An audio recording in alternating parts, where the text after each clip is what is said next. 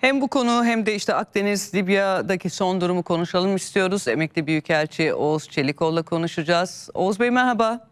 Merhaba, iyi yayınlar. Çok teşekkürler. Yani Trump'ın Sırbistan yerine açıklama yapması, e, Sırbistan Büyükelçiliğinin Kudüs'e taşınacak e, demesi. Bunun bir örneği yoktur herhalde değil mi? Ee, yani tabii Amerika Birleşik Devletleri Başkanı e, yani e, iktidara geldiğinden beri tabii e, çok değişik bir stille e, diplomasi yürütüyor. E, işte e, yani çeşitli şekillerde eleştiriliyor bu stili. E, yani son bu zorlamalar da e, herhalde işte e, Sırbistan e, Cumhurbaşkanı'nı e, güç duruma sokan bu zorlamaları da e, Başkan Trump'ın e, diplomasi yürütme e, stiliyle açıklamak mümkün. O bakımdan tabii yani geçmişte çok büyük bir örnekleri olduğunu söylemek mümkün değil. E, bir zorlama diplomasisi yapabiliyor. E, nezaket kurallarına uymuyor. E, diplomatik nezaket kurallarını kolaylıkla çiğneyebiliyor. Sertleşebiliyor.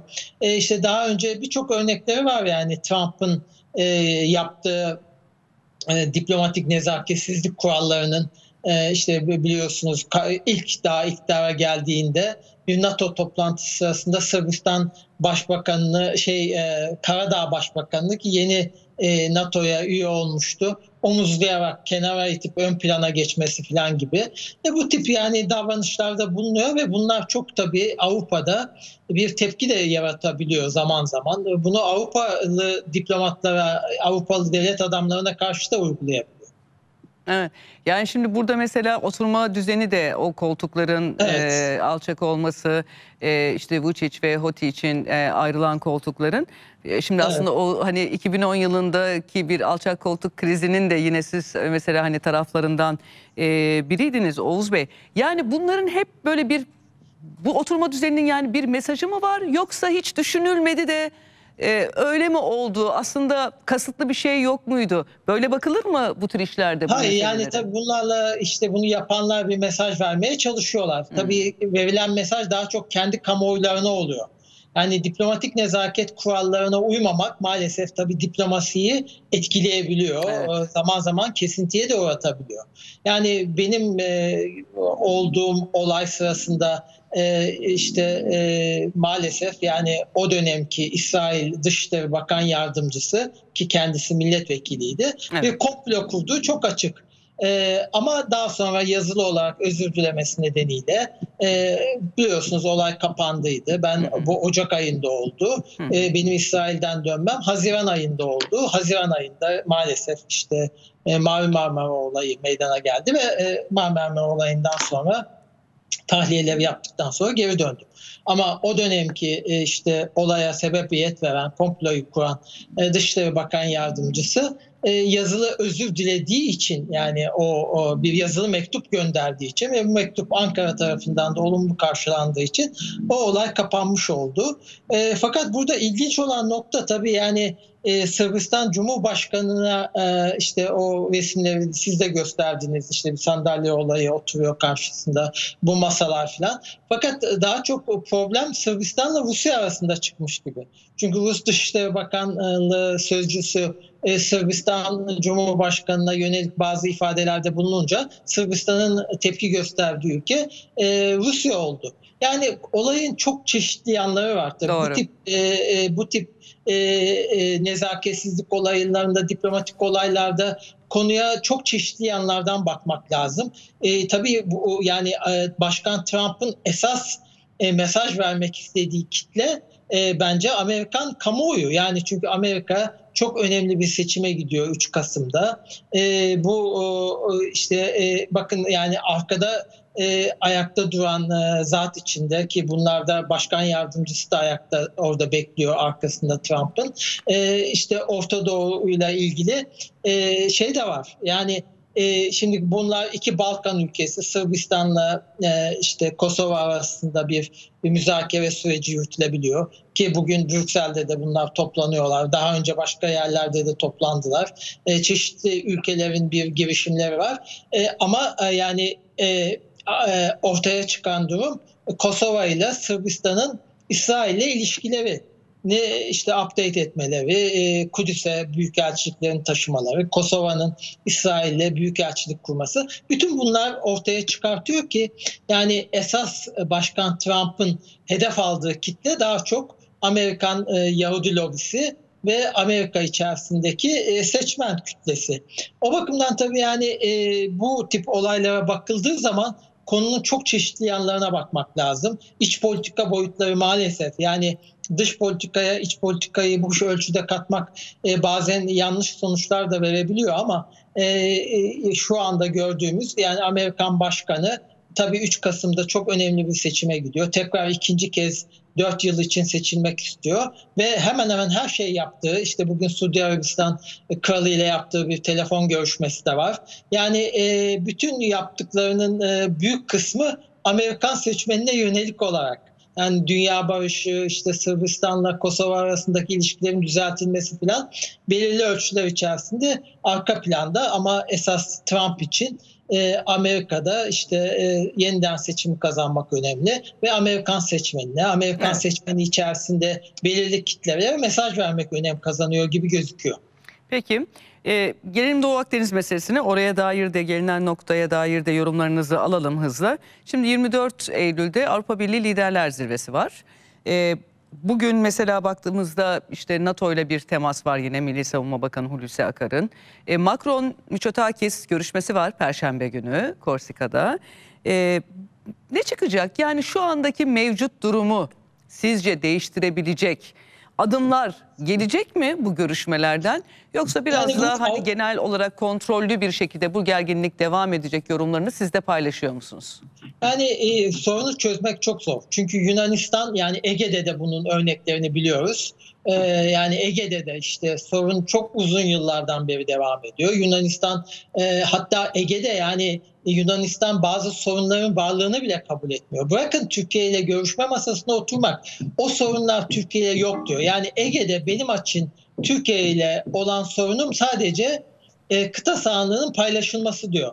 Yani işte karasularını, hava sahasının uzunluğuymuş, Fırat'ta sorumlulukların yanlış e, e, bir şekilde uygulanmasıymış, e, adaların e, e, Lozan ve Paris Anlaşması aleyhine silahlandırılmış. Bunlar e, Yunanistan bakımından sorun gözükmüyor e, ve Türkiye ile bunları konuşmaya da yanaşmıyor. Yani o bakımdan zaten Yunanistan'la Türkiye'nin yani bazı konuları görüşmesi de çok zor gibi gözüküyor. Yani Yunanistan bazı sorunların e, sadece egemenlik hakkı olduğu iddiası içerisinde işte buna e, e, uluslararası hukuka tamamen aykırı olarak uyguladığı 10 millik hava sahası da dahil olmak üzere işte fır sorumluluğunu sanki bir egemenlik hakkı gibi görmesi de dahil ki Meis Adası'ndaki silahlanma faaliyetleri nedeniyle Türk kamuoyunun dikkatleri tekrar o konuya e, yoğunlaşmıştı. Yani e, işte e, Paris ve Londra e, Lozan Anlaşması'nda çok açık bir şekilde as, gayri askeri statüye sokulmuş adaların silahlandırılması dahil bütün bu konuları e, yani Türkiye'yi ilgilendirmez gibi bir davranış içerisine giriyor. O bakımdan yani Türkiye ile Yunanistan'ın e, Yunanistan üzerinde çok ağır bir baskı kurmadan e, bu konuları çözmesine e, çok zor gibi gözüküyor. O ağır baskı nasıl kurulur? Yani bu ağır baskıyı ancak Avrupa Birliği kurar. Ee, Avrupa Birliği'nde şu an öyle bir niyeti yokmuş gibi gözüküyor. Veya Amerika Birleşik Devletleri kurabilir. İşte de biraz önce konuştuk. Amerika Birleşik Devletleri bir seçime gidiyor. Zaten Yunan basına baktığınız zaman işte Biden seçildiği takdirde ki bunlar yanlış yani bunlar doğru diye söylemiyorum ama Yunan e, zihniyetini e, Türk kamuoyuna, Türk seyircisine anlatmak için e, ifade ediyorum. Yani Biden seçildiği takdirde işte Biden zaten helenleştirilmiş. Senatörken biz onu helenleştirmiştik. Biden geldikten sonra Amerika'da arkamızda olacak ki bunlar doğru değil. Çünkü bunların hepsini geçmişte de gördük. Yani her başkan seçimlerinden sonra e, yeni gelen başkanın e, Yunanistan lehine bir politika izleyeceği yönünde Atina'da böyle bir e, anlayış ortaya çıkıyor. Bunlar sonra gerçekleşmiyor. Ama Peki. şu anda e, e, Yunanistan e, kamuoyuna verilen husus nasıl olsa seçimler geliyor. Amerika'da da bir değişiklik meydana gelecek. Zaten Trump yönetiminin Türkiye'ye çok büyük bir destek verdiği de yok. Yani onu da ifade etmek lazım. Yani batıdan özellikle Avrupa Birliği'nden Çünkü çok büyük bir e, ekonomik e, problem içerisinden geçiyor Yunanistan. Bu ekonomik probleme rağmen e, işte e, çok büyük ölçüler içerisinde Fransa'dan silah alması da söz konusu. E, eğer Avrupa Birliği Yunanistan üzerinde çok ciddi bir baskı kurmazsa ki bu baskının kurulacağı yönünde bir işaret yok. Aksine yani oradan gelen ifadeler işte e, bu sizin de biraz önce belirttiğiniz havuç sopa ifadeleri falan kabul edilmesi imkanı olmayan ifadeler. Bu e, havuç sopa politikasını esasında Yunanistan'a karşı uygulamak zorundalar. Yani bunun anlayışı maalesef Brüksel'de yok gibi Evet. gözüküyor. Peki. Almanya'da da yok gibi gözüküyor. Peki şimdi mesela e, az önce gelen haber Rusya Dışişleri Bakanı Sergey Lavrov e, bu akşam Güney Kıbrıs'a gidiyormuş. E, Lavrov ziyareti öncesinde Türkiye ile Rum kesim arasında iyi ilişkiler kurulması için ara buluculuk ara, ara buluculuk teklif etti. Şimdi siz Avrupa Birliği'nin rolü, Amerika Birleşik Devletleri'nin rolü biraz kısmen söylediniz. Hani Doğu Akdeniz başta olmak üzere. Ama tabii Doğu Akdeniz, Libya meselesi, Suriye meselesi Rusya'nın da başa taktırı olduğu bir e, mesele.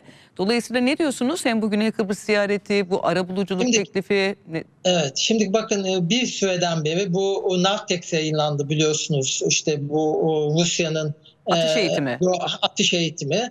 E, bu o, Türkiye tarafından bir şekilde yayınlandı ve o e, yayınlandığından itibaren Yunanistan ayağa kalktı. İşte Rusya Türkiye'yi mi destekliyor diye.